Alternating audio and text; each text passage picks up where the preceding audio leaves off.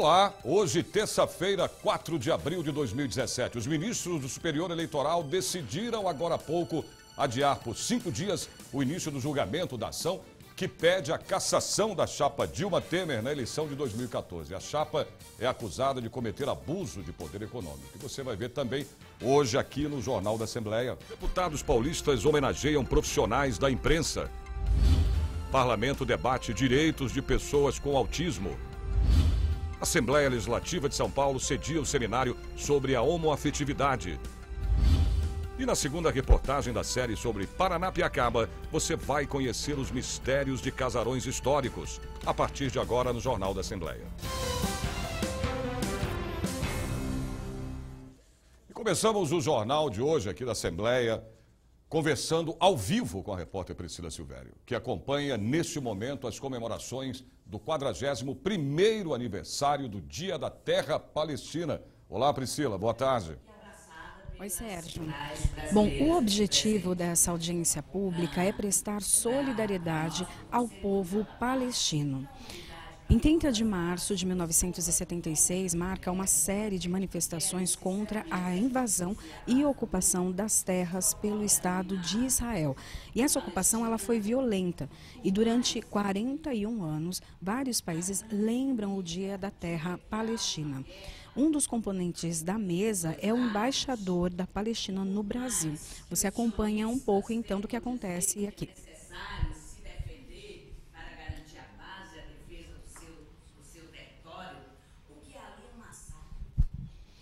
Bom, então esse evento ele foi um pedido da deputada Alessi Brandão do PC do B e também é, agora na abertura esteve presente o deputado Pedro Tobias do PSDB. Sérgio. Obrigado, Priscila. E vamos agora também ao vivo até o plenário Juscelino Kubitschek, onde se encontra aí o repórter Mauro Frisma, para saber, né, Mauro, da agenda da casa na parte da tarde de hoje, terça-feira. Boa tarde, Mauro. É isso mesmo, Sérgio Everton. Boa tarde a você, boa tarde a todos que acompanham esta edição do Jornal da Assembleia. Olha, Sérgio, como é de praxe, a sessão ordinária da Assembleia Legislativa começa às duas e meia da tarde. Entre duas e meia e três e meia, o horário destinado ao pequeno expediente. Neste espaço, os deputados podem ocupar a tribuna por cinco minutos para falar sobre temas de interesse do próprio parlamentar. Das três e meia às quatro e meia, o grande expediente, e os deputados têm o tempo de dez minutos para falar a respeito deste tema. A partir das quatro e meia, a qualquer momento, pode ser aberta a ordem do dia. Está acontecendo nesse, nesse instante o Colégio de Líderes aqui da Assembleia Legislativa, a reunião dos deputados, dos líderes das bancadas partidárias, e por lá eles estão definindo os assuntos que serão debatidos, que serão discutidos aqui no plenário Juscelino Kubitschek nesta terça-feira, Sérgio. Uma das matérias em pauta é o projeto de lei número 871 de 2016. Esta matéria faz uma alteração numa lei de 2013 que autoriza o governo do estado a contratar operações de crédito com instituições financeiras controladas pela União. Na prática, o que é isso? O governo do estado quer uma autorização da Assembleia Legislativa para poder realocar 644 milhões de reais de um contrato de financiamento de trens da CPTM para o contrato de ampliação da rodovia dos Tamoios. Essa matéria já está em discussão na Assembleia Legislativa já tem algumas semanas. É, cerca de três horas já foram discutidas. A matéria tramita em regime de urgência e pode ser discutida por até seis horas. Outras matérias estão também sendo debatidas agora no Colégio de Líderes para definição se elas virão ou não para o plenário na tarde de hoje. E as atividades, as atividades parlamentares você pode acompanhar pela página da Assembleia Legislativa na internet. Sérgio. Obrigado, Mauro. Até amanhã. A pesquisa de amostra de domicílios feita pelo IBGE revela números preocupantes. O desemprego em todo o país entre dezembro do ano passado e fevereiro deste ano chegou a 13,2% da população economicamente ativa. Bom, isso significa que 13 milhões e 500 mil pessoas estão sem emprego no Brasil hoje. E a Assembleia Legislativa de São Paulo sediou um seminário sobre a homoafetividade. No evento, teve até lançamento de livro. A reportagem é do Jeremias Gomes. O Segredo Perdido do Éden é o primeiro livro de uma trilogia que trata das causas da homoafetividade, ou seja, a relação afetiva entre pessoas do mesmo gênero. Tema também debatido no evento pelo autor do livro, Rogério de Almeida. O romance traz um processo histórico desde o tempo de Noé, pós-dilúvio, né? Quando então, através dos seus três filhos, Sem, Cam e Jafé, toda uma questão de genealogia foi se espalhando na Europa, na Ásia, no Oriente Médio, na África. E o livro então vai falando das épocas em que a questão da homossexualidade eh, não era muito bem aceita e outras épocas em que era totalmente aceita. E então o livro vai transformando a questão homoafetividade no real protagonista do processo. O Brasil lidera o ranking internacional em assassinatos de pessoas trans, ou seja, cuja identidade de gênero difere da designada no nascimento, lembra a palestrante Cibele Silva. Ela defende a melhoria da condição social de moradores de rua da comunidade LGBT. A nossa ideia, a nossa bandeira é estar tá, é, pedindo para que a prefeitura redirecione um desses albergues, que o total já são 89, apenas para o público LGBT porque eles vão ter um tratamento melhor, qualificado, com as ONGs especializadas e está colocando essas pessoas inserindo no mercado de trabalho, reinserindo na vida social. Saber agora da previsão do tempo para a tarde desta terça-feira em todo o estado. Faz sol e calor em São Paulo. A máxima chega aos 30 graus. Campinas também faz sol e calor. A máxima é de 29 graus. São José dos Campos, o sol brilha forte. A máxima é de 28 graus. Sorocaba tarde vai ser de calor, tempo aberto, hein? Os termômetros também chegam aos 28 graus. Ribeirão Preto, muito sol e temperatura alta, máxima é de 31 graus. Bom, e ainda nessa edição, unidades do Poupa Tempo recebem doações de cabelos para quem enfrenta a batalha contra o câncer. E mais, o parlamento debate os direitos de pessoas com autismo. O Jornal da Assembleia volta já já.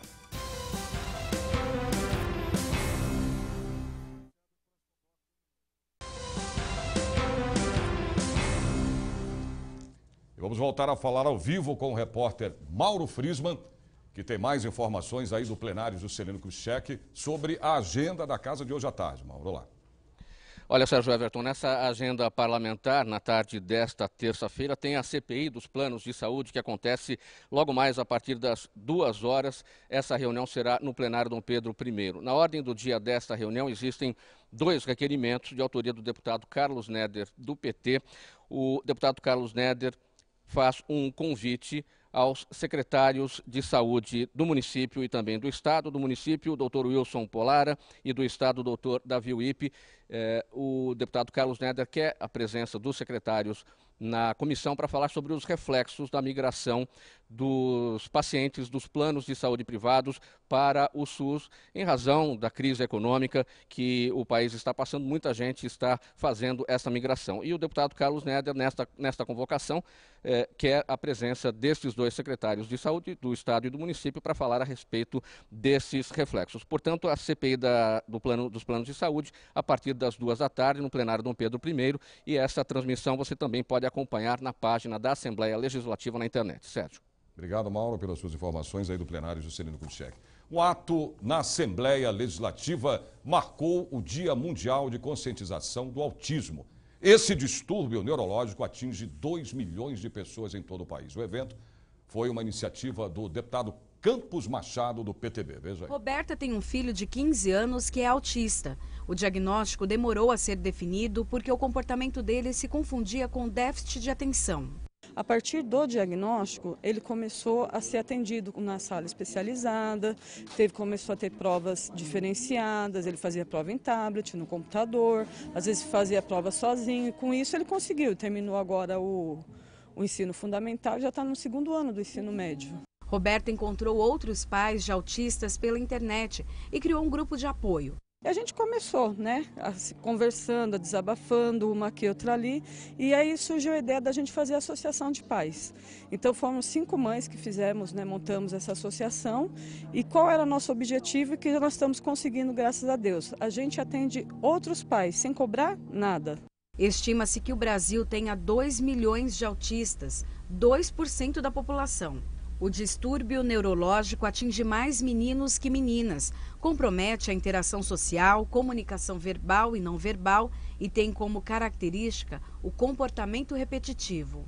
Pessoa com autismo, ela aprende, ela diferente dos demais, é, das demais crianças, das demais deficiências, né? Então eles precisam de um atendimento muito especializado e diferenciado. 2 de abril é Dia Mundial de Conscientização do Autismo. A Assembleia Legislativa de São Paulo recebeu pais e instituições para um ato de mobilização pelos direitos dos autistas e familiares. Este ato aqui é um ato de demonstração de é, força por parte de mães, de assistidos que estão frequentando aqui o auditório hoje, todos em busca de um maior conhecimento, divulgação e é, no intuito também de, de escolher, de fazer com que as autoridades é, se sensibilizem e, e, e se proponham a, a agregar mais é, ações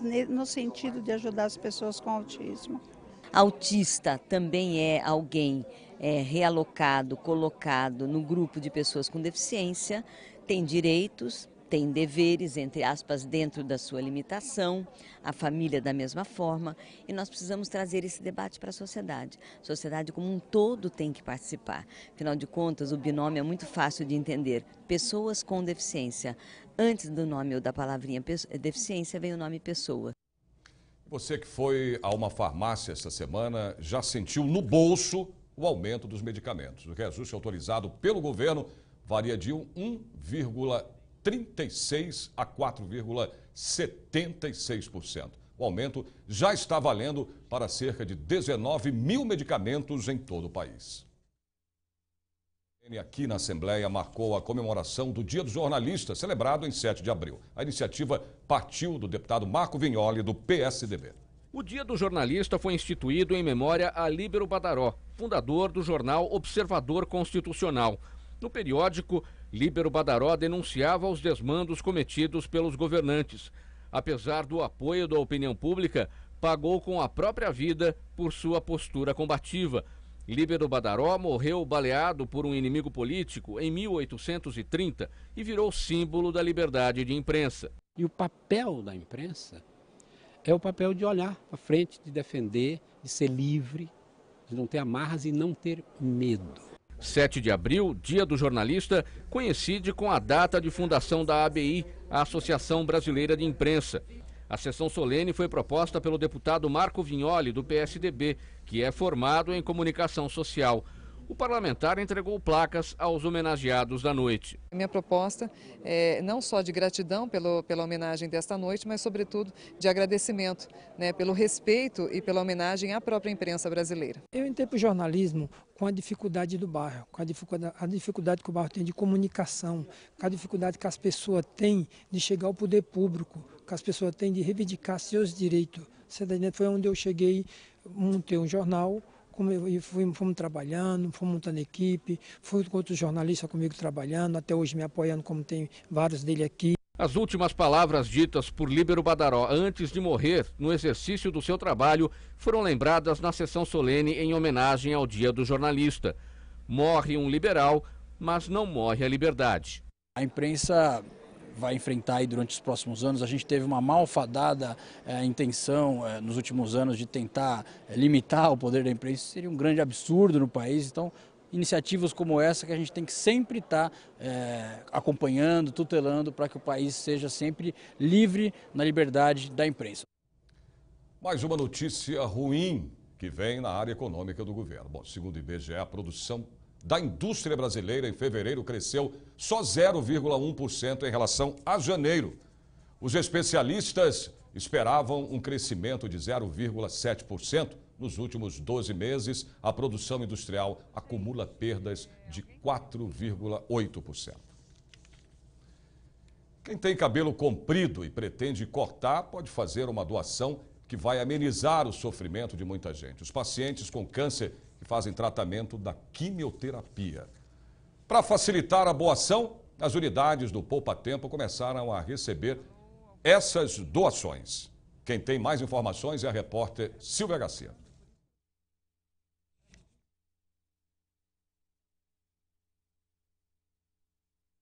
Olá, boa tarde, Sérgio. Boa tarde a todos. Agora você pode doar o seu cabelo e fazer uma boa ação para quem precisa.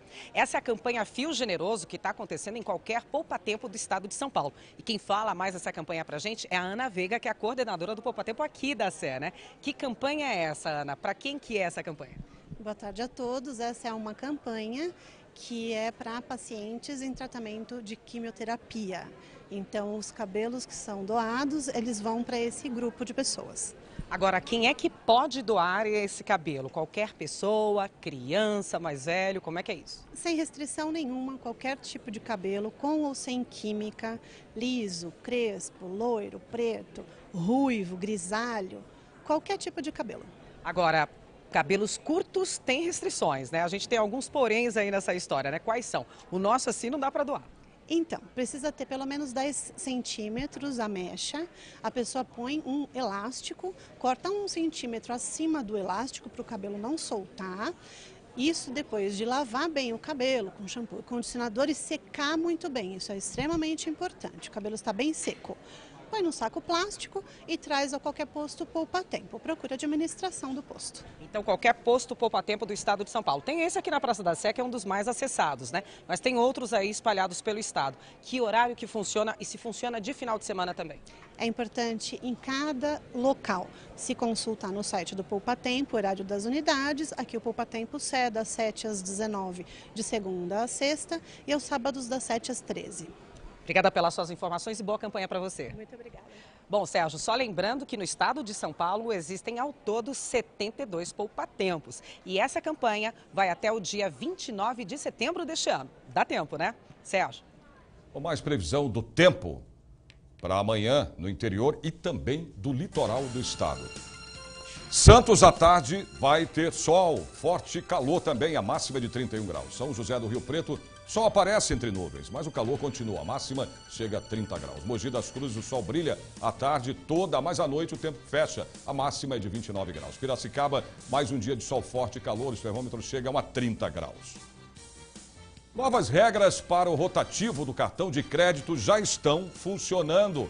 E na segunda reportagem especial sobre Paranapiacaba, você vai conhecer os mistérios dos casarões históricos da vila. Nós voltamos depois do intervalo.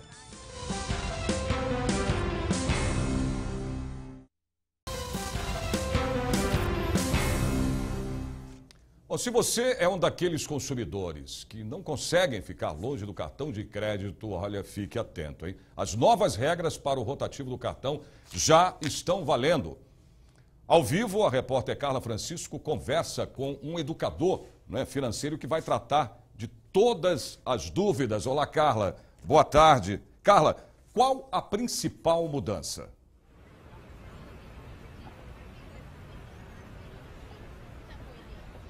Olá, Sérgio, boa tarde, boa tarde a todos. Olha, a principal mudança é que aquele consumidor que fizer o pagamento este mês, daquele valor mínimo da fatura, no mês que vem não vai conseguir fazer esse pagamento do mínimo. Ele vai ter que negociar a dívida junto ao banco ou então pagar o valor total. Sobre este assunto, eu converso com o Reinaldo Domingos, que é presidente da ABFIM. A ABFIM é a Associação Brasileira de Educadores Financeiros. Reinaldo, quais são os principais pontos que o consumidor deve ficar atento? Olá, Sérgio. Olá a todos que estão nos assistindo. Sem dúvida alguma, um momento histórico no nosso país. Nós estamos falando que acabou praticamente esse crédito que é de 17% ao mês. Então, nós estamos falando que esse rotativo agora vai ser substituído sim pelo financiamento. A preocupação é: será que esse financiamento caberá no orçamento financeiro desta pessoa, desta família? E aí, a certeza é que muito difícil será o brasileiro assumir uma prestação que ele não conhece ainda e que principalmente o seu orçamento já está totalmente oscilando. E aí, Sérgio, o problema está como é que vai ser para honrar este, este, esta prestação, este financiamento. É muito provável que vai haver um aumento de inadimplência. Como é que o consumidor deve fazer para, de repente, não se endividar ainda mais, né? Assim, na hora de negociar com o banco, o que, que ele tem que contar para o banco, enfim. É importante buscar por outras alternativas, né? Principalmente, nós estamos falando de crédito consignado, outras que podem ser menores. Os juros, para você ter uma ideia do cartão, vai ser de 3,5% a 9,9%. Ou seja, os juros dos bancos provavelmente chegarão aí a 7%, 8%. O que praticamente fica inviável também para o consumidor. Então, o caminho é reeducação financeira, buscar por uma reunião familiar, reduzir gastos para combater a causa. A causa está exatamente no consumo desenfreado, o consumo não consciente. Então, a educação financeira é uma ciência humana, precisa de falar com a família e precisa fazer corte de gastos, sim, viu, Carla? Essa mudança pode realmente acabar com aquela bola de neve tão temida? Eu diria que não acaba com a bola de neve, nós vamos atenuar. Eu diria que é uma aspirina quando a gente precisaria de um antibiótico na veia, né? Então nós precisamos buscar por uma outra parte dessa questão que o governo não passou, o Conselho Monetário não passou e não passaria porque não tem essa competência que é a educação financeira. Então é necessário que as famílias busquem por uma alternativa para combater a causa. A causa é consumo consciente e guardar dinheiro para realizar desejos e sonhos. Obrigado. Tem que pensar realmente antes de gastar, né? Sérgio, é com você. Obrigado, Carla, a você e ao, e ao Reinaldo Domingos aí pela participação aqui no Jornal da Assembleia. E na segunda reportagem da série especial sobre Paranapiacaba, você vai fazer um passeio pelo centro desse distrito histórico. Vai conhecer construções antigas que guardam muitas lembranças. A reportagem é da Silvia Garcia. O que vemos hoje são dezenas de casas de madeira, todas pintadas da mesma cor, e uma vila cheia de histórias e detalhes dos tempos antigos. E aí elas têm a cor vermelha por uma razão específica, né? Qual Sim, a explicação? A São Paulo Railway, a empresa que detinha a propriedade da vila, ela simplesmente reaproveitava a tinta dos trens. Então, o que sobrava de pintar os trens e vagões era aproveitado nas casas. Um dos passeios nos leva até o interior delas. É o CEDARC, Centro de Documentação em Arquitetura e Urbanismo de Paranapiacaba. Agora, uma outra curiosidade dessas casinhas é que, apesar delas parecerem que são semelhantes umas com as outras, elas são muito diferentes por dentro. E é o que a gente vai conhecer agora. Vamos visitar? Vamos lá? Aqui nesse primeiro cômodo, quando a gente entra nessa casinha, que é bem pequenininha e bastante modesta, a gente vê, né? Sim. Aqui seria uma sala, vai. Ah, podemos dizer que sim. Aqui a pessoa podia usar como quisesse, mas vamos, vamos dizer que é uma sala mesmo, ir lá o quarto. E essas pedras aqui, obviamente, essas pedras não existiam na casa na época. Elas são para dizer o quê? Então, todo o calçamento aqui da, via, seja, da vila, sejam calçadas ou ruas, foram feitos com essas rochas que são provenientes da pedreira aqui de Rio Grande da Serra. Que é a cidade vizinha. Exatamente. Que é a cidade vizinha. Que na época pertencia a Santo André. A Santo André. Isso. Bom, daí a gente entrando, vem comigo aqui então me apresentando os outros cômodos, a gente passa por um segundo cômodo, um pouquinho mais escuro agora, que seria, vai, o quarto, né? O, onde dormiriam aqui a família toda. Isso. Hoje aqui nesse lugar, no CEDAR, que é uma sala de exposição aqui de mídias, de slides. Sim, quando... Exato. Quando há alguma atividade do tipo, aí prepara tudo, coloca umas cadeiras, tudo para poder Mas fazer é isso. bem pequena, hein? Sim, é para bem reduzir. É o que imagino que seria Sim. só um casal dormindo. E se a gente andar mais um pouquinho para trás, cuidar do degrau aí, tem já um chão diferente, um Sim. desnível também aqui, né? Que a gente vê parece cimento queimado, Sim. alguma coisa assim. Aqui seria a cozinha. Isso mesmo, a cozinha, tanto que aqui nesse local onde está essa maquete era o fogão. E se a gente for observar, o teto ele é vazado, justamente para poder facilitar escoar a fumaça. As casas abrigam uma exposição permanente sobre a formação urbana da vila, seu patrimônio arquitetônico e a tecnologia construtiva em madeira.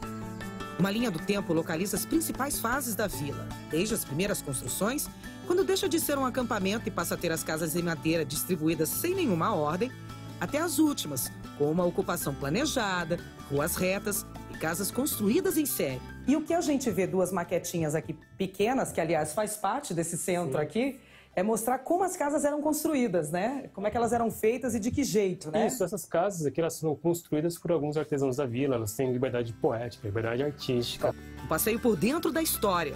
Esse daqui era o porão da casa, na verdade o alicerce, né, da casa de como era lá feito, assim, tem um vão lá embaixo, né? Exatamente. É por conta da umidade, a madeira não pode tocar diretamente no solo. Isso iria deteriorá-la. E olha como é que é úmido. Sim. Olha, a gente consegue ver pelas gotículas no vidro como é que era úmido mesmo. Então não, ela não podia ser construída diretamente do chão. Isso mesmo. Bem, por isso mesmo tem até esse vidro aí para poder demonstrar como que era. Tem um platô ali embaixo, né? Tem uma e aí sempre alicerçado. E aqui um pouquinho da formação urbana da cidade. Isso a mesmo. gente fala aqui quantas casas nós temos aqui na vila atualmente? Aproximadamente 240. 240 casas. E quantas pessoas moram aqui hoje? Cerca de mil. Cerca de mil pessoas. Quando chega nos finais de semana, esse público dobra um Sim, pouco, né? exatamente. Nos finais de semana, há finais em que a gente tem um público de 3 mil pessoas. Três vezes mais o número de pessoas, de moradores daqui da região. E quando vai para o festival de inverno, esse número sobe para 10 mil, 15 mil. A cidade fica cheia, lotada de gente para cima e para baixo. Ao sair das casinhas, nos deparamos com o famoso pau da missa. Isso mesmo. O nome deste antigo eucalipto que fica no caminho da Cidade Alta é pau da missa. Essa árvore aqui atrás ficou conhecida como pau da missa. Ela é um eucalipto centenário. Ela levou esse nome basicamente porque lá em 1800 e alguma coisa, era nela que eles colocavam recados da igreja, como notas de falecimento ou missas de sétimo dia. Tá aí, pau da missa, essa árvore centenária belíssima aqui em Paranapiacaba.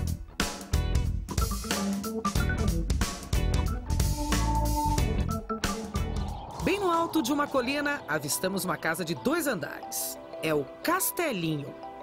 A casa foi construída em 1897, sobre uma elevação natural em ponto estratégico. Ali morava o engenheiro-chefe. Do alto se via toda a movimentação dos trens na ferrovia e podia-se fiscalizar tudo sem sair de casa. Fiscalizar. Tá aí algo que faltou no acidente de trem que deixou o relógio da ferrovia famoso. A gente está na ponte que fica em cima dos trilhos de trem. E se você olhar mais lá para baixo, não parece que é o Big Ben? Não parece que a gente está em Londres com um relógio ali numa torre? Pois é, ele é o Big Ben de Paranapiacaba e tem uma história curiosa sobre esse relógio. Não sei se está dando para enxergar daí, mas são números romanos que estão ali dentro do relógio. O 1, o 2, o 3 e olha como é que está o 4. Não é aquela letra I e a letra V, que normalmente se escreve num relógio como esse de, de números romanos. Ali são três pauzinhos, na verdade, quatro pauzinhos. Esses quatro pauzinhos têm uma explicação. Dizem que muitos anos atrás, um maquinista olhou pelo retrovisor e viu o número 6 ao invés do número 4. E por conta disso, ele acabou causando um enorme acidente aqui na região. Depois de que isso aconteceu, olha só, agora o número 4 é escrito de uma forma errada, mas correta para você coordenar uma ferrovia. E amanhã, na terceira reportagem da série especial, você vai fazer um passeio pelas trilhas na vila de Paranapiacaba. Você não pode perder. Previsão do tempo hoje em mais cidades do interior do estado. Em Franca, a tarde de sol e o tempo permanece aberto até a noite. Não chove, a máxima atinge 28 graus. Bauru, tarde de sol com tempo aberto até a noite. Também não chove, a temperatura é de 31 graus. Limeira, tempo aberto, dia com muito sol, não chove também, a máxima é de 30 graus. Marília, sol com aumento de nuvens, também não chove, a máxima prevista chega a 30 graus. O Jornal da Assembleia de hoje termina aqui. E a partir das duas e meia da tarde, você acompanha ao vivo o trabalho dos parlamentares no plenário Juscelino Kubitschek, aqui pela TV Assembleia SP. E também toda a programação da TV através do portal, que é o al.sp.gov.br. A gente se vê de novo amanhã, a partir do meio-dia. Até lá.